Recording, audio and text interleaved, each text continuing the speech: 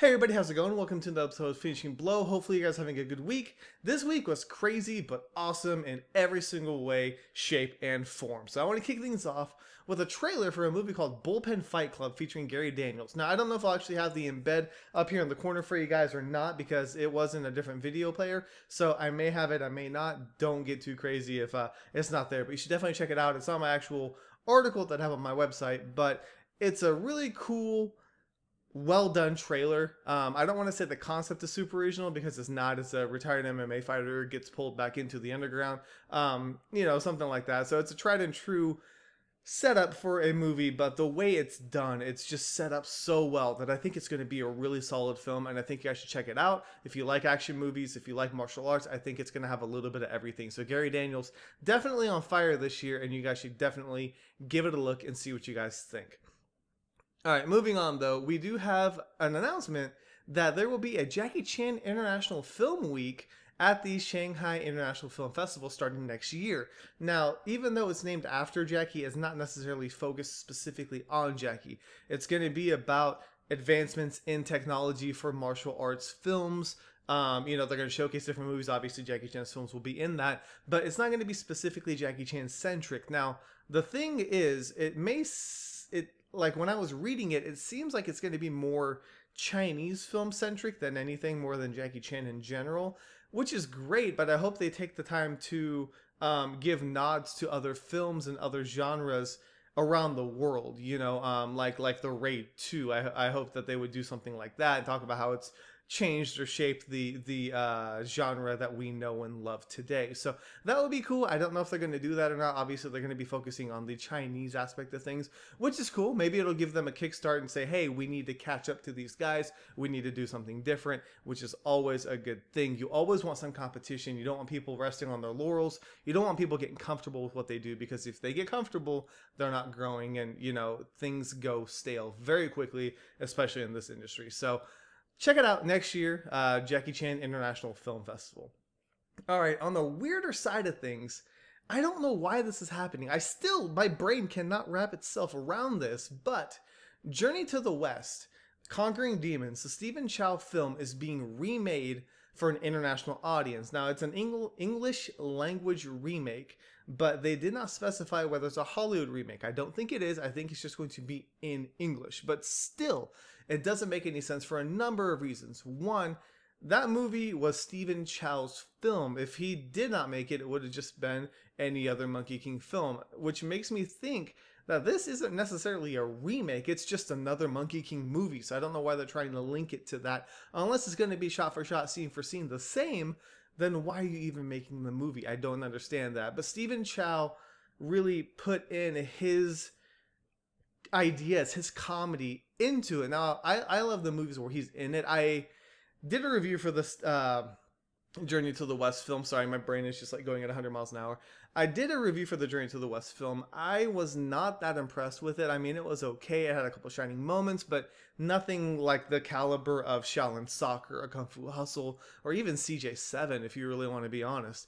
And I don't know why they're remaking it. I, th- I, think that the international audience, unless you're really tapped into Asian history and Asian tradition, you're not going to know a lot about the Monkey King. So there's not that base, there's not that fan base, that appeal that Asian audiences already have. They know who the Monkey King is. You know, you've got freaking like Dragon Ball Z or Dragon Ball, sorry, Goku is based off of the Monkey King. And so you already have it infused into everything that's in that culture. And I don't think uh, an English language remake is really going to push that in the right direction. But, you know, never say never. It may be good, it may be terrible, but it is happening, and it's just something we're just going to have to deal with. So there it is out for you guys. Let me know what you guys think, though. Should there even be a remake? Of the so called Stephen Chow Journey to the West Conquering Demons film. Let me know in the comments. All right, moving forward, something a little bit more awesome and a little bit more entertaining is the Rurouni Kenshin teaser. Um, I did a very quick article about it, translated it for you guys on my actual page, so be sure to check that out. It's pretty much the same thing, except a little bit of it. The ending is a little bit different, but still gets me hyped for the movie. Definitely want you guys to check it out. All right, skipping forward though, we're going to talk about the Yakuza Apocalypse. Got some images and a detailed synopsis about this. Now, this movie I'll be honest with you, I'm interested in it because Yayan's in it, and he looks beastly. Um, it's going to be very, very interesting. Takashi Miike is doing the directing for the film, and he has this tendency to do things very uniquely, I guess is a good way of putting it. Um, some of the things that he does is really gory and really violent and just really off the wall. And other times he does stuff that's a lot more subtle. Now, you know, I don't know how this movie is going to be, but the fact that Yayan's in it makes me really interested in it. The synopsis, you'll have to read for yourself. It is a detailed, very detailed synopsis. So if you read it, don't be upset about the spoilers because I'm guessing there's some in there. It, it covers pretty much everything, but be sure to check it out if you're interested in, in that movie or if you like Takashi Miike. I think you guys will be very, very excited to see what's going to happen in that film. All right, and lastly, for you Rain fans out there, we have the trailer for The Prince. Now, I'll be honest, I was slightly disappointed by this because they did not feature Rain the way that I thought they should or the way that I thought they were going to. Now, Bruce Willis obviously is a big name, so is John Cusack, but you know, there's Rain fans internationally, just around the world. People are excited to see Rain back in action. This is not his first film since he's come back from his military leave, I guess you could call it. Um, he did do uh, Return to Base, I think was a Korean film that he made. I still haven't seen that one yet. But it is, I think, the first time he's come back to Hollywood to do a movie. Now, Ninja Assassin, love it or hate it, Rain gave it his all. He did a good job with what he was given. I'm not going to go into a rant about Ninja Assassin, but he did a good job with what he was given. So I really wish it would showcase him a little bit more, but the trailer's there. Check it out. It's it's uh, again the plot is nothing super special, but it's gonna be the that core cast of characters and how they interact with one another that's gonna make that story really shine. So I'll let you guys know more about it as soon as I find out. But for right now, that's pretty much it. Um, I don't know. Lastly, though, we did a review for The Monkey King with Donnie Yen. Now, I figured it was fitting, given the fact that they just did a remake or announced a remake for the Stephen Chow's Conquering Demons, that I would do a review for The Monkey King. Now, this movie was really, really interesting. Um, there's a lot of people that are very polarized on this film. Some people love it, some people hate it. And I was just curious about it. I try, I think I've said this before, but I try not to read or look at any reviews before I do a review for myself because I don't want those ideas or concepts to impact my personal opinion.